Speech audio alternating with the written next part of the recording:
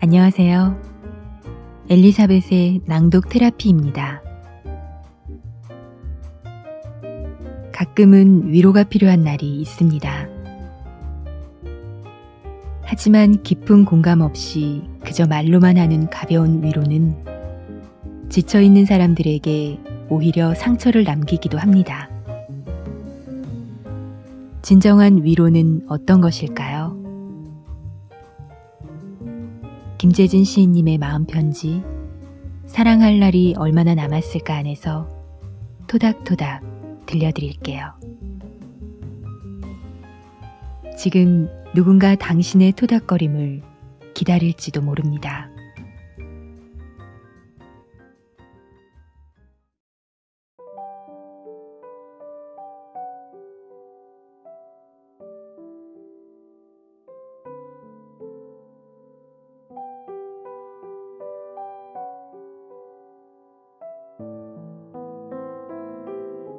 토닥토닥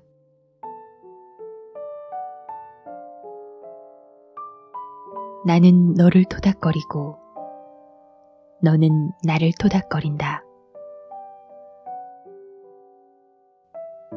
삶이 자꾸 아프다고 말하고 너는 자꾸 괜찮다고 말한다.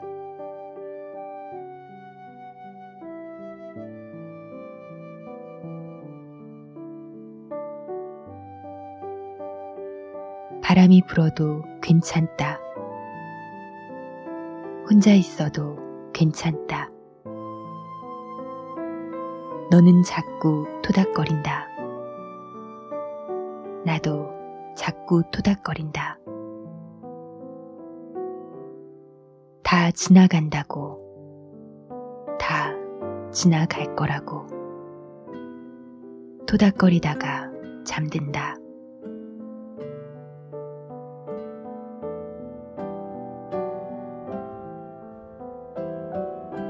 토닥토닥.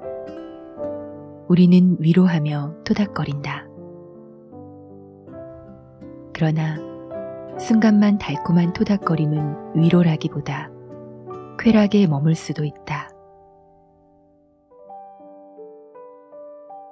아픔을 일시적으로 잊게 하는 위로는 설탕과 같아 그런 위안으로 인해 우리는 진짜 위안을 찾을 의욕을 상실한 채 지금의 상황 속에 안주할 수도 있다.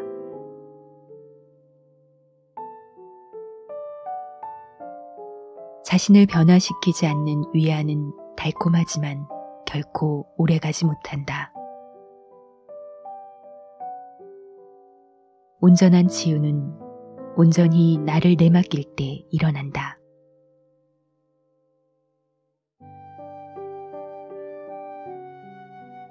온전한 위안 또한 마찬가지다. 우선의 고통을 면하기 위해 순간의 위안만을 찾는다면 그건 마치 꿈속에서 맛있는 음식을 먹는 것과 같다. 마음을 위로하는 모든 위안은 안락하고 따뜻하다.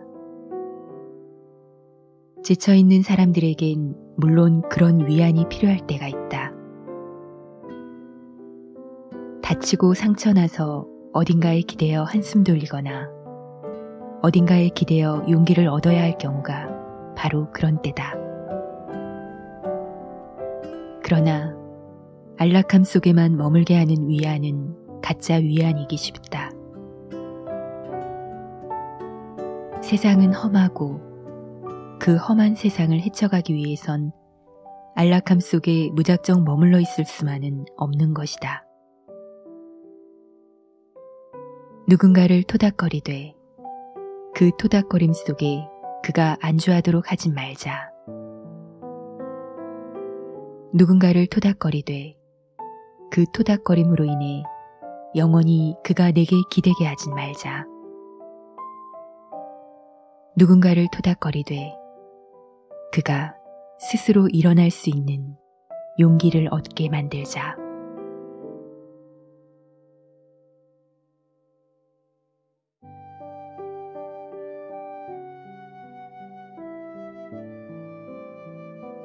토닥토닥 나는 너를 토닥거리고 너는 나를 토닥거린다. 삶이 자꾸 아프다고 말하고 너는 자꾸 괜찮다고 말한다. 바람이 불어도 괜찮다. 혼자 있어도 괜찮다. 너는 자꾸 토닥거린다. 나도 자꾸 토닥거린다. 다 지나간다고. 다 지나갈 거라고. 토닥거리다가 잠든다.